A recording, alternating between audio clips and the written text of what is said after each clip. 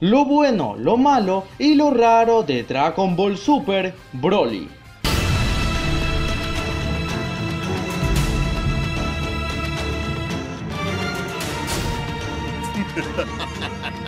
Hola, simios. La Tierra vive en completa paz tras el torneo de la fuerza. Luego de darse cuenta de que en los diferentes universos aún existen muchos peleadores muy fuertes por conocer. Goku pasa sus días entrenando para así alcanzar nuevos límites y superarse a sí mismo. Pero un día, Goku y Vegeta conocerán a un Saiyajin de nombre Broly. Pero se suponen que los Saiyajin habían sido casi erradicados tras la destrucción del planeta Bellita.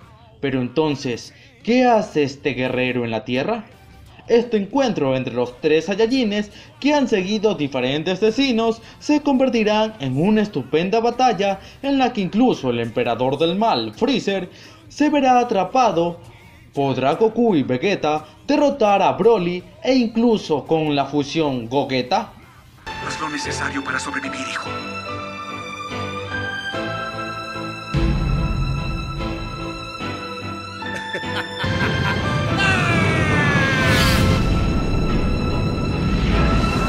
Dato curioso, han pasado alrededor de 20 años desde que se estrenó la película de Dragon Ball Z El Poder Invencible.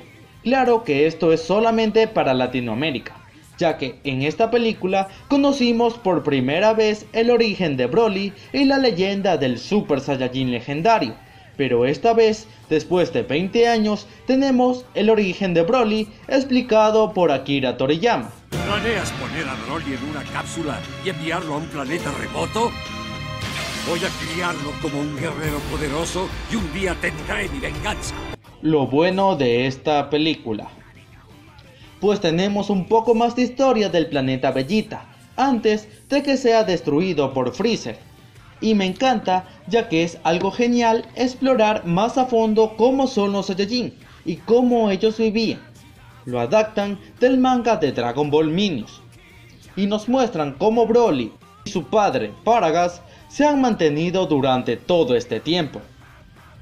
Las paletas de colores que utilizan aquí es más como las paletas de colores que utilizaba Akira Toriyama, más como en Dragon Ball, no como lo que utilizan en Super. Y siento que esto es algo bueno, ya que nos hacen recordar a los tiempos de antes. Así que el dibujo y la animación es muy buena, es como si estuviéramos leyendo un manga. Otra cosa que me gustó es que nos traen de regreso a Gogeta, y este siendo algo de la misma Toe, no de Akira Toriyama, pero es muy bueno que lo hayan traído de vuelta y más que todo para esta película.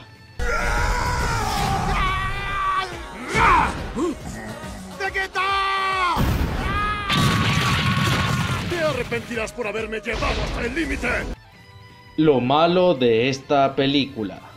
No me gusta cómo mantienen a los niños Saiyajin en las cápsulas, ya que nosotros vimos diferente a los niños Saiyajin, ya que en la serie salían desnudos, pero ahora no salen así.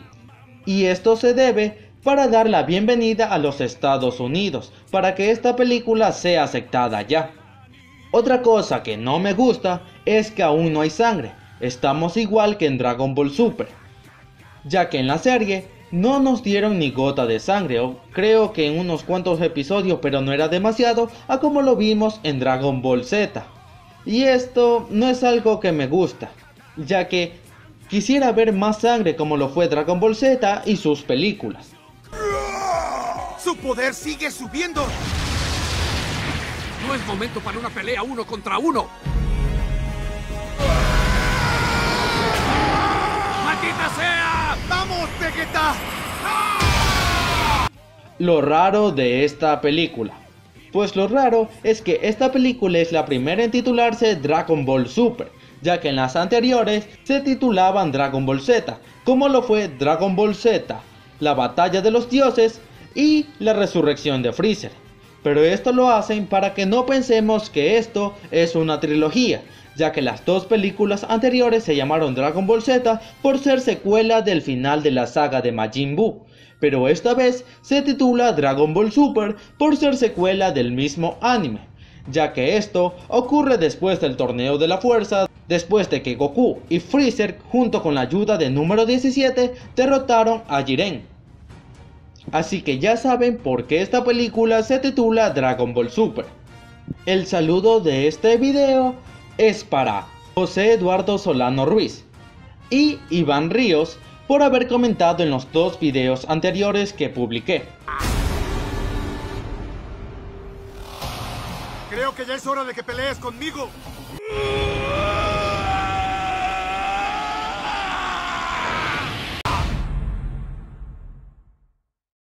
Síganme en mis redes sociales de Facebook, Twitter e Instagram. En todas ellas me pueden encontrar como Gambito Cine. Suscríbanse al canal para más contenido como este. Y nos vemos en un próximo video. ¡Chao!